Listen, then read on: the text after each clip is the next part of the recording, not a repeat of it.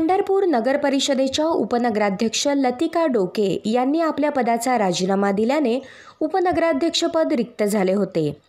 या उपनगराध्यक्षपदाची निवडणूक प्रक्रिया शुक्रवारी दिनांक सात फेब्रुवारी रोजी नगर परिषदेच्या सभागृहात पार पडली.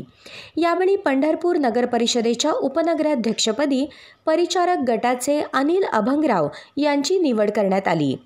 यावेळी सत्ताधारी पंढरपूर मंगळवेढा विकास आघाडीकडून नगरसेवक अनिल अभंगराव यांचा एकमेव अर्ज आल्याने त्यांची बिनविरोध निवड करण्यात आली असल्याची घोषणा नगराध्यक्षा साधनाताई भोसले यांनी केली. आगामी नगरपालिका निवडणुकीच्या तोंडावर केलेल्या या निवडीमुळे इतर मागासवर्गीय समाजास आकर्षित करण्याचे काम सत्ताधारी परिचारक गटाकडून केल्याचे दिसत आहे.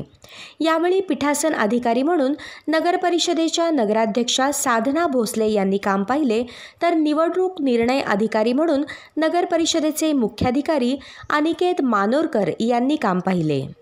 उपनगराध्यक्षपदी आदरणीय आमच्या सर्वांचे श्रद्धास्थान आदरणीय माजी आमदार सुधाकरपंत परिचारक साहेब आमच्या सर्वांचे मार्गदर्शक जिल्ह्याचे आमदार आदरणीय प्रशांत मालक आमच्या आघाडीचे अध्यक्ष उमेश मालक परिचारक आणि आमचे नगराध्यक्ष सौ साधनाताई भोसले आमचे मार्गदर्शक आदरणीय लक्ष्मणराव पापरकर महेशगाव भोसले सर्व ज्येष्ठ आमचे सहकारी नगरसेवक नगरसेविका सभागृहातील सर्व विरोधी पक्ष सदस्य या सर्वांनी आज मला उपनगराध्यक्षपदी बिनविरोध निवड केल्याबद्दल मी सर्वांचे हार्दिक आभार मानतो धन्यवाद मानतो.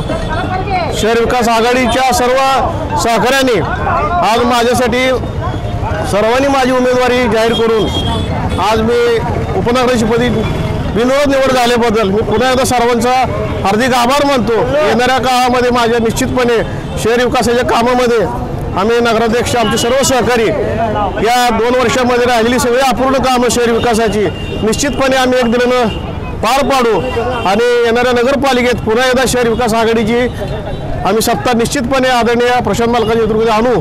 अशाच प्रकारची ग्वाही मी सर्व आमच्या सहकारी नगरसेवकाच्या वतीने देतो. सर्व आमच्या उपस्थित पत्रकार मित्रसुद्धा हार्दिक आभार धन्यवाद.